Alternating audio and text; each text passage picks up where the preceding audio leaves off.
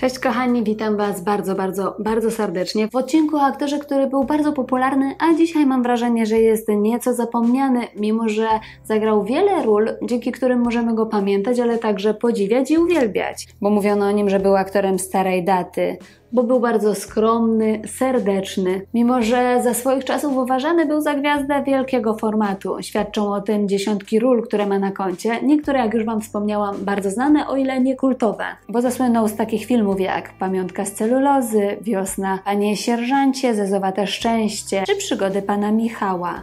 Gwiazdą dzisiejszego odcinka będzie Józef Nowak którego na pewno kojarzycie także z Hydrozagadki. Zapraszam więc do oglądania, jeśli chcecie się dowiedzieć, jak wyglądało jego życie, a także dlaczego dziś o nim mówi się tak mało, czemu zniknął nagle. O tym Wam oczywiście opowiem, więc zapraszam Was bardzo serdecznie. Józef Nowak urodził się 8 kwietnia 1925 roku w Kończycach. Podczas okupacji, na czas której przypadała jego młodość, pracował jako maszynista w teatrze słowackiego w Krakowie. I to prawdopodobnie wtedy narodził się w nim pomysł, aby zostać aktorem. W 1946 roku, czyli zaraz po wojnie, ukończył studio przy teatrze Starym w Krakowie, a rok później zdał egzamin eksternistyczny i od tamtego momentu zdobywał doświadczenie na deskach krakowskich teatrów a później pracował w wielu teatrach i jak sam przekonywał, mimo że będę Wam dzisiaj bardzo dużo mówiła o jego wcieleniach filmowych czy serialowych, uważał się właśnie za aktora teatralnego.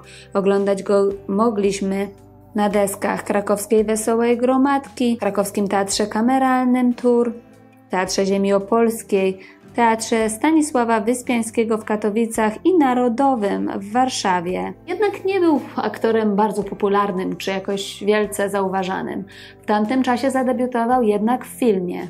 Ale była to postać epizodyczna, nie wymieniana nawet w napisach końcowych. I choć lubił teatr, do filmu go bardzo ciągnęło. Kiedyś większą rolę zagrał przez przypadek. Był chyba 1950 rok i kręciło się niewiele, nieczęsto zdarzały się okazje, by wystąpić przed kamerą, wspominał.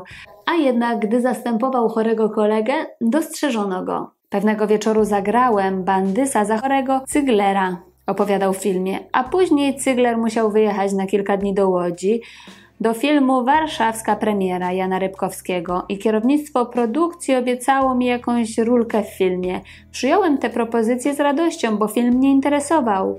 A jego pierwsza przygoda zakończyła się zaledwie po czterech dniach, bo jak słyszeliście, rulka była nieduża, ale podsyciła bardzo zainteresowanie pana Józefa, który już wtedy stwierdził, że chciałby jeszcze kiedyś coś zagrać. Kolejną szansę dostał dopiero po trzech latach. Pojawił się na chwilę w przygodzie na Mariensztacie, ale tam okazało się, że ekipa była zachwycona nie tylko jego talentem, który był niezaprzeczalny, ale także osobowością, tym jak się zachowywał, jak super się z nim współpracowało. W 1953 roku zagrał główną rolę w celulozie, ale niech was nie zmyli tutaj to, co powiedziałam. To nie było tak, że wcześniej się spodobał i wszyscy stwierdzili, że jest taki fajny, że dajmy mu jeszcze jakąś rolę, bo super się z nim pracuje. O nie!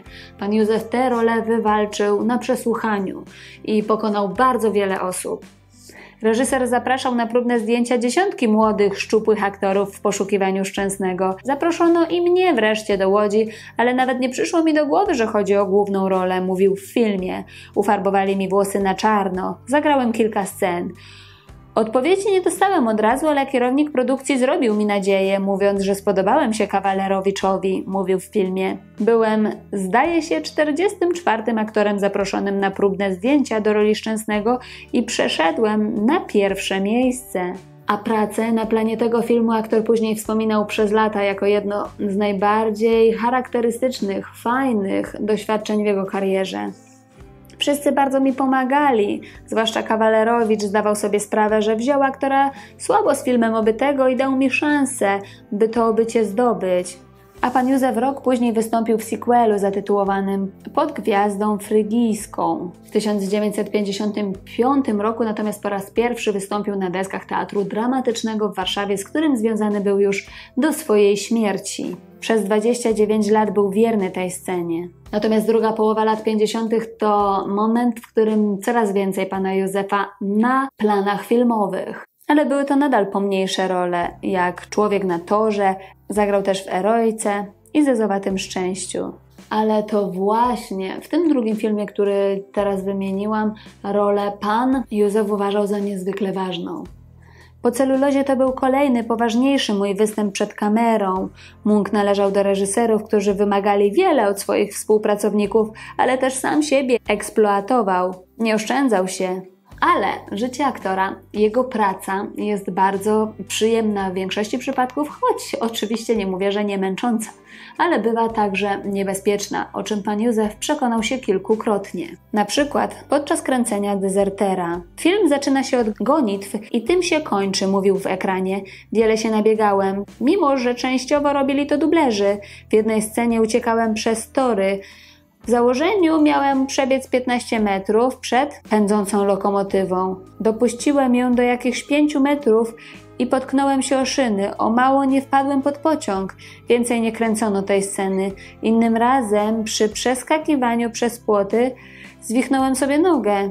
Ale co się działo w kopalni? Szyb głębokości kilkudziesięciu metrów, oślizłe drabiny, w dole woda, a my wdrapujemy się po takich sześciometrowych odcinkach. I to tylko kilka sytuacji, ale mogło ich być więcej, bo od tamtej pory pan Józef zagrał w kilkudziesięciu filmach, produkcjach telewizyjnych i kinowych. Krytycy nie szczędzili mu pochwał, a wśród publiczności coraz więcej przybywało jego fanów. Jednak nie udało mu się minąć tak zwanej szuflady, o której często Wam mówię. W latach 60. grywał głównie wojskowych, mundurowych, milicjantów, urzędników, partyjniaków, robotników, których najważniejsze to kreacja górala w Mężczyznach na Wyspie, porucznika w Prawiej Pięści, czy plutonowego w Westerplatte, a także pułkownika w filmie sensacyjnym Hasło Korn.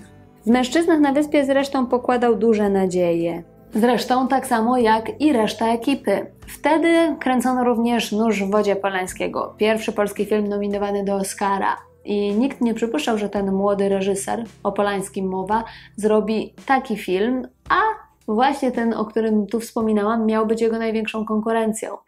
I szczerze mówiąc, myślano, że nóż w wodzie pójdzie się schować ale jak dobrze wiemy, było zupełnie odwrotnie. Nie tylko wśród nas, ale dość powszechnie panowało wówczas przekonanie, że nasi mężczyźni przewyższą nóż, mówił. Stało się inaczej.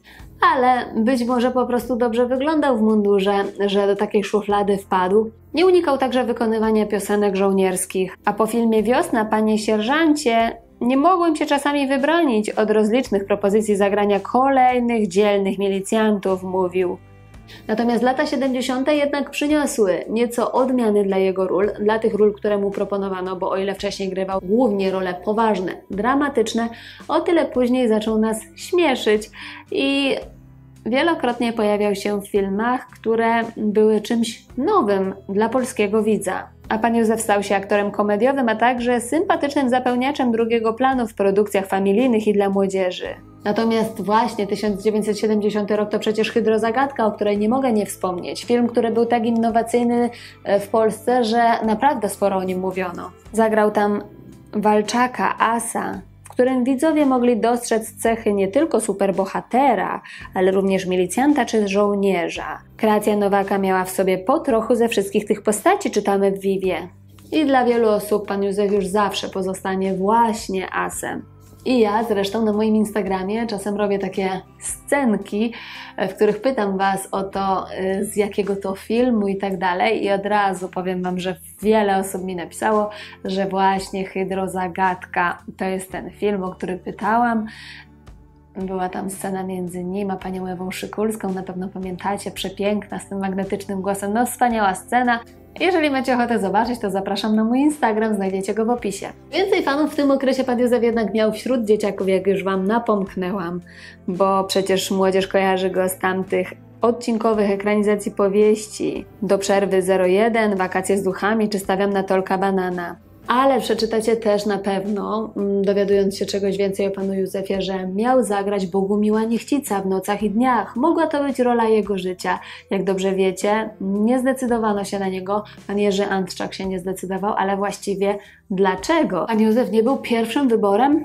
Kiedy Jerzy Antczak zaczął przygotowania do adaptacji powieści Marii Dąbrowskiej Noce i Dnie, jego pierwszym wyborem w roli Bogumiła miał być Stanisław Jasiukiewicz – jednak nie mógł przyjąć tej roli, bo miał nieuleczalną chorobę i uznał, że nie udźwignie tego filmu. Drugim wyborem miał być właśnie pan Józef Nowak. Zresztą przeprowadził z panem Jerzym kilka rozmów i wydawało się, że niebawem pojawi się na zdjęciach. Dostałem scenopis, omówiliśmy rolę. Ba, konwersowaliśmy już nawet, czy mam zapuszczać brodę od zaraz, czy jeszcze poczekać. Ale zaledwie miesiąc przed zdjęciami okazało się, że pan Jerzy Antczak zdecydował, że ktoś inny zagra Bogumiła. Kolega Bińczycki z Krakowa lepiej mu pasował, więc moja przygoda z nocami i dniami zakończyła się szybciej niż mogłem przypuszczać, żalił się dziennikarzowi magazynu Perspektywy. I nie wiadomo, czy robił dobrą minę do złej gry, czy faktycznie tak uważał, ale powiedział, że może dobrze się stało, bo musiałby z wielu rzeczy zrezygnować dla tej roli. Przyjmując tego rodzaju rolę, musiałbym na dwa lata zrezygnować z radia, telewizji i co najbardziej bolesne teatru, a uważam się przede wszystkim za aktora teatralnego, mówił. Przyznawał jednak, że kiedy zobaczył e, ten film, to zrozumiał, czemu to właśnie Bińczycki dostał rolę Bogumiła, choć nie wierzę, że E, występ w takim oscarowym filmie nie byłby fajną gratką dla aktora i że nie żałował. No trudno, czasem po prostu trzeba robić dobrą minę do złej gry, niestety. A jaki był prywatnie i zawodowo? Tutaj naprawdę bardzo dużo. Wszyscy, którzy go znali, mówili o jego atutach, o jego zaletach. Mówiono także o tym, że mimo, że był już rozpoznawalny, miał super warsztat, super doświadczenie, poparte wieloma kultowymi rolami, to on na planie szanował bardzo początkujących aktorów. Wspomina się, jak pomógł Marianowi Tchórznickiemu w Do przerwy 01. Chłopak nie nadawał się do pracy na planie, opowiadał reżyser w życiu na gorąco. Grał sztywno, nie było w tym żadnego aktorstwa i omal się nie załamałem. Na szczęście drugiego dnia grający dzielnicowego Józef Nowak jakimś cudem otworzył Marianka, który od tego czasu wcielał się w swoją postać bardzo wiarygodnie i przekonująco. Zadziałało może to, że podobno był rodzinny, miał podejście do dzieci najwyraźniej, uprzejmy i miły. W ogóle nie dawał nam odczuć, że jest gwiazdą, traktowaliśmy go jak członka rodziny, mówiła Ewa Reniecka która poznała go podczas zdjęć do filmu Wiosna, panie sierżancie. Na temat jego życia prywatnego, jak widzicie, pan Józef nie wypowiadał się, nie chciał za dużo zdradzać, więc to pozostanie jego tajemnicą na zawsze, bo jego odejście było nagłe i wiele osób myślało, że jeszcze wiele lat przyjdzie nam się cieszyć tym aktorem, który przecież do ostatnich lat życia był aktywny zawodowo. Przed śmiercią wcielił się w postać Kajetana Talara, ojca Andrzeja Bronka i Leszka w kultowym domu. Oprócz grania w teatrze i w filmach kreował także rolę Grzelaka w najpopularniejszym słuchowisku radiowym Matysiakowie. I choć zyskał status wielkiej gwiazdy, w ostatnim wywiadzie przyznał, że nie o to mu chodziło. Chciał po prostu być dobrym aktorem, a to mu się zdecydowanie udało. Przez lata był przecież odznaczany najważniejszymi orderami państwowymi. Odszedł 16 stycznia 1984 roku w Warszawie, gdzie został też pochowany. Miał zaledwie 58 lat. Za przyczynę jego śmierci uznano chorobę serca. Przykre jest jednak to, że mam wrażenie, że jest to osoba nieco zapomniana. O tym wspaniałym i bardzo docenianym kiedyś aktorze pamiętają dziś nieliczni, być może właśnie dlatego, że nie ma na koncie wielu skandali i to po prostu nie grzeje, mówiąc krótko. Przyznam Wam szczerze, że sama czasem łapię się na tym, że jednak kiedy nie dam Wam takiego tytułu, który jakoś Was zaczepi, kiedy jest tam coś naprawdę takiego, co jakoś nas łapie za serce i tak dalej, to nie są to odcinki najbardziej klikane. No, czasem boli mnie to, że kiedy mówię, że ktoś miał wspaniały życiorys, udało mu się przeżyć życie rewelacyjnie, tak jak każdy z nas by chciał, bez tragedii, bez strasznych przeżyć, bez rozstań, skandali itd., tak to o takich osobach jakoś mniej lubimy słuchać. Niestety taka jest przewrotna ludzka natura i być może dlatego, że pan Józef o swoim życiu prywatnym nie mówił za dużo, o nim się już niestety nie pamięta. Ja dla Was będę od czasu do czasu odkurzać takie osoby, opowiadać o ich talencie i przypominać, żebyśmy pamiętali, że po prostu byli, by chciało nam się wrócić do tych filmów, w których zagrali. Jeśli chodzi o pana Józefa, napiszcie mi, jakie to były filmy według Was, do których chętnie byście wrócili i w których zapadł Wam w pamięci. Proponujcie także o kim zrobić kolejne odcinki. Chętnie spotkam się z Wami w komentarzach i do zobaczenia w kolejnych odcinkach na moim kanale, które publikuję trzy razy w tygodniu, we wtorki, czwartki i soboty najczęściej. Więc do zobaczenia. Trzymajcie się ciepło, pa pa! Bye.